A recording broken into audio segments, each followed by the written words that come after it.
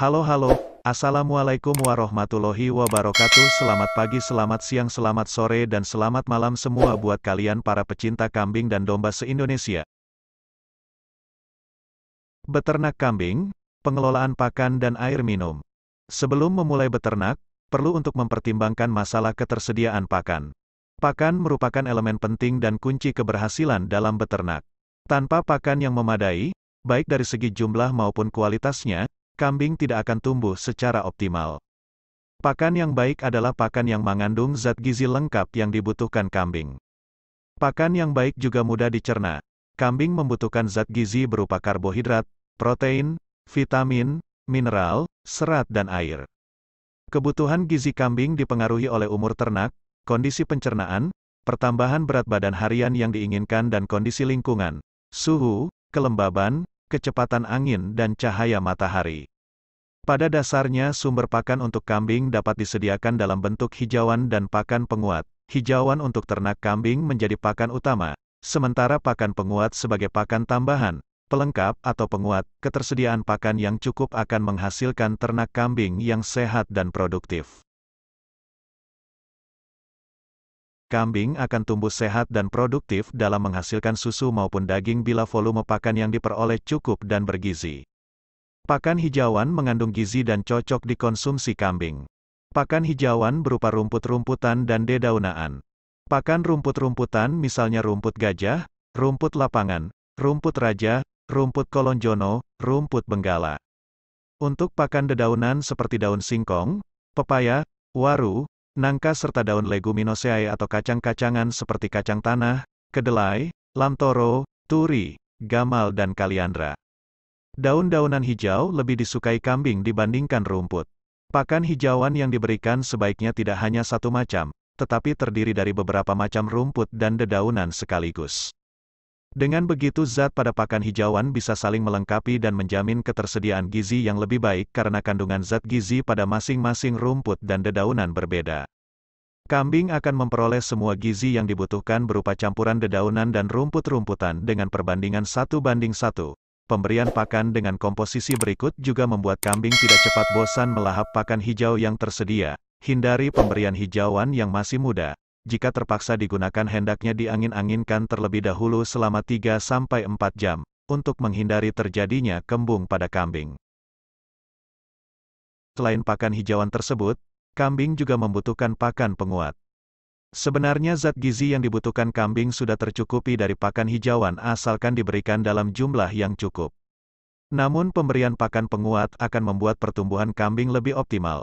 Apalagi pemeliharaan ditujukan untuk penggemukan, maka pakan penguat harus diberikan agar kambing cepat gemuk. Kambing menyukai pakan dari limbah industri seperti dedak padi, dedak jagung, ampas tahu, ampas kelapa, ampas kelapa, bungkil kedelai, bungkil kacang tanah dan bungkil kelapa. Sedangkan untuk limbah pertanian seperti jerami kacang tanah, jerami kedelai, kulit singkong, jagung halus, bekatul dan umbi-umbian. Pakan penguat seperti ampas tahu dan segala jenis bungkil mengandung protein tinggi. Pakan yang mengandung protein tinggi membuat pertumbuhan kambing, terutama kambing muda lebih optimal. Protein bermanfaat dalam membangun, membentuk dan memperbaiki sel atau jaringan tubuh serta sebagai cadangan energi.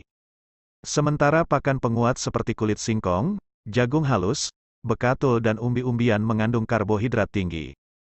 Pakan yang mengandung karbohidrat tinggi merupakan sumber energi yang baik. Energi digunakan untuk beraktivitas dan kelebihannya akan disimpan dalam bentuk oto dan daging. Dari limbah perkebunan juga dapat dijadikan pakan untuk kambing seperti limbah kopi dan kakao. Dari hasil penelitian, Pemberian pakan dari limbah kopi dan kakao terfermentasi pada kambing dapat meningkatkan bobot badan kambing. Pemberian pakan tambahan dari limbah kopi sebanyak 100 gram per ekor per hari meningkatkan berat badan kambing sebesar 95-100 gram per ekor per hari.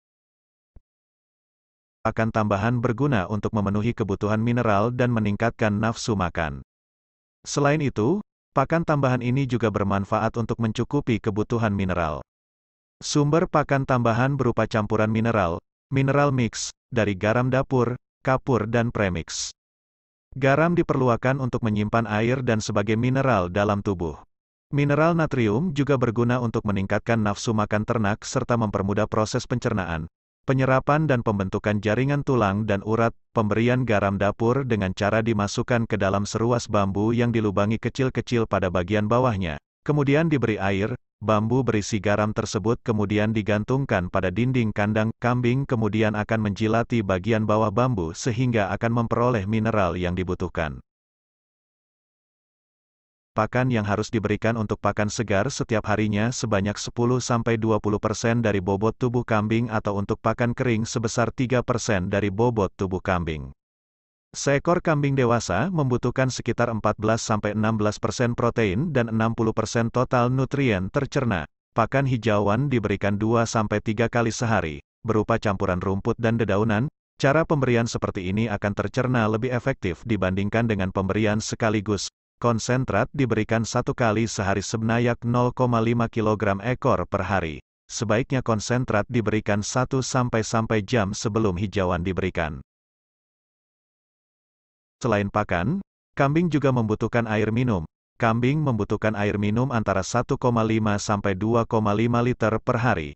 Kebutuhan air pada kambing bervariasi tergantung pada suhu lingkungan, bobot badan, jenis pakan yang diberikan dan jenis kambing yang diternakan. Namun pemberian air minum umumnya tidak dibatasi, air minum selalu disediakan untuk kambing. Jika air minum habis atau tinggal sedikit harus segera ditambah. Demikian informasi yang bisa kami berikan pada kesempatan kali ini. Jika sobat-sobat peternak dan pecinta kambing dan domba ingin mendapatkan informasi seputar kambing dan domba terbaru. Sobat-sobat dan kawan-kawan sekalian diharap kemurah hatiannya untuk subscribe, like, dan komen channel ini dengan tujuan untuk membantu membangun channel ini mempererat tali silaturahmi sekaligus mencerdaskan bangsa dan negara. Akhir kata, sampai jumpa di video selanjutnya dan wassalamualaikum warahmatullahi wabarakatuh.